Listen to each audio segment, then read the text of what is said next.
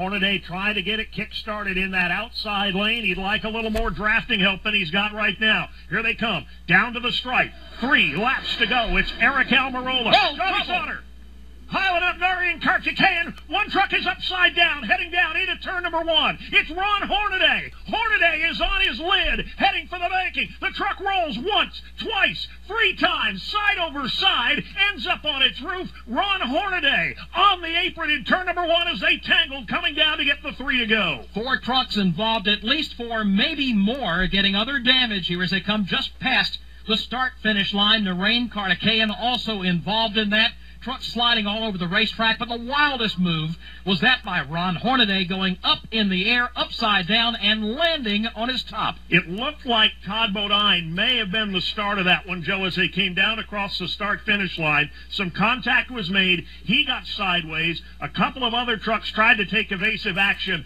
Karthikeyan spun, hooked Ron Hornaday, and an absolute wild ride for Hornaday as he came down end over end and side over side. Todd Bodine comes down to check on his buddy, puts his arms up in the air and walks away. Uh, appears to be indicating that Hornaday is all right, but they're going to take their time and be very cautious in getting Ron Hornaday out of that Chevrolet after a wild ride, half the length of the front straightaway upside down here at Talladega. In the closing laps, we figured it would get exciting, and boy, did it.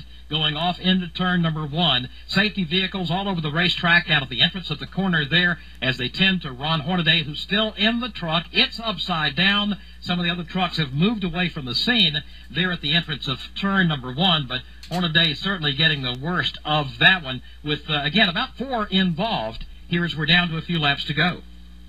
Red flag is on the field with Eric Almirola at the front of the pack, Johnny Sauter, Kyle Busch, Jason White, and Chris Fontaine. And right now, our concern is for Ron Hornaday Jr. That was a very hard crash. Initially, it got upside down and just slid on its roof for a good long time. But when he got up to the banking in turn number one, it hooked and flipped wildly at least three more times before coming down hard on the roll cage. There is damage on the Kenny Schrader machine, the Grant Enfinger truck. He had had such a good run this afternoon. He's done for the day, has climbed out of that heavily damaged machine as they continue to work on the Chevrolet of Ron Hornaday.